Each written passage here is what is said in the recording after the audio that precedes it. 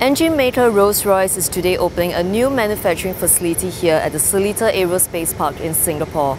Built to produce Trent engines, the site's location signals the importance of the Asian region for aerospace manufacturers.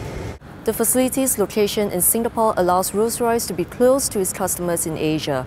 It also combines all stages of the engine production under one roof, unlike its facilities in the UK. We will establish two different capabilities in, in Seletar. One will be the Accord uh, facility, which will do uh, wide chord fan blades, um, which is an important piece of, of our engines.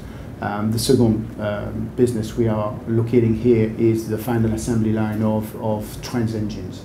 Asia represents more than 50% of our backlog overall, uh, and it will be a, a, an important place to do business. So it's a clear alignment with our supplier, but also alignment with supply chain. The Seletar Assembly and Test Unit is about the size of three football pitches. Now, besides a manufacturing and testing facility, there is also a training center to help support the required engineering skills of the workforce.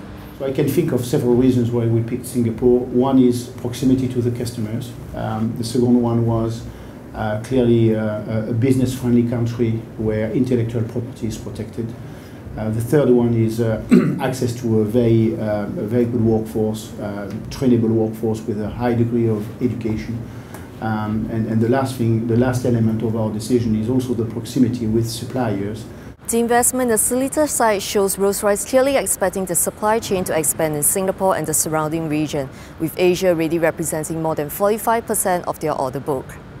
And with Rolls-Royce expecting to contribute 1.6 billion Singapore dollars to the Singapore economy and to employ 2,000 workers by 2015, what's good for Rolls-Royce could well be good for Singapore. Kim Leo, FlightGlobal, Singapore.